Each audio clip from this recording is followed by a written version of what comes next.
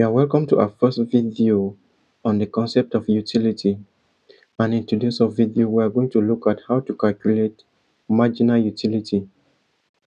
So the question says that the table below shows the different levels of satisfaction that the consumer will derive from the consumption of oranges in a day. So the number of oranges have been given as 1, 2, 3, 4, and 5 and the total utility has been given. We need to calculate the marginal utility. The first question says that we should calculate the marginal utility of this consumer. And the last one that we should determine the consumer's uh, maximum point of satisfaction and give reasons. To calculate the marginal utility, we know that marginal utility is equal to change in total utility over change in consumption.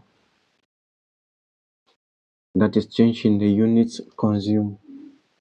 So that is how we are going to calculate the marginal utility. And we know that utility is the satisfaction derived from consuming a given unit of a particular good. And this utility is measured in utils and also marginal utility measured in utils. So we are going to look for, since a total utility is given, we are going to look for marginal utility. And we know that marginal utility is equal to change in total utility over change in consumption. Since uh, no unit was consumed and there was no total utility, so we can put this one zero. So for the first one, our marginal utility will take the first uh, total utility, which is equal to 15.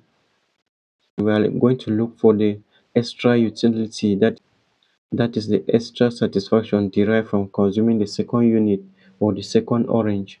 So we are going to have um, we are going to have 25 minus 15 to be equal to 10. So that is our marginal utility after consuming the second orange. So we do not need to divide by the number of the number of uh, units consumed since it increases by 1. So the change in consumption is 1. So dividing by 1 will still give the same answer. So we can just go through by taking it directly.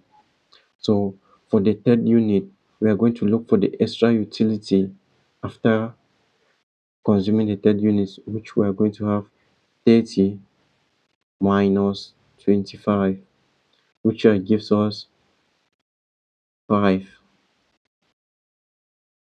That's a 5 utils. And the fourth, and the fourth orange, so we need to look for the difference. So we are going to have 30 minus 30, which uh, gives us 0.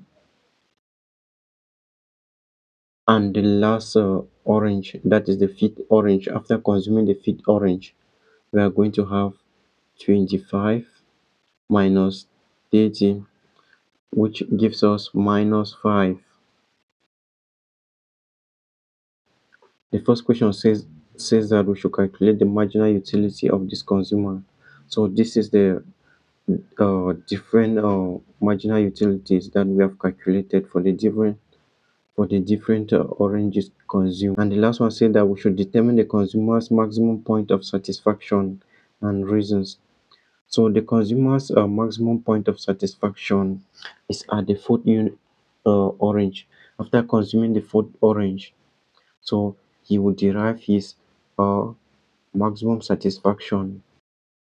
So to determine this, we know that utility is maximized where marginal utility is zero. So a point where the consumer will derive maximum satisfaction is at the fourth unit and at this point marginal utility is zero. So it, it is at this point that the consumer will derive its maximum satisfaction and this point is also called satiety.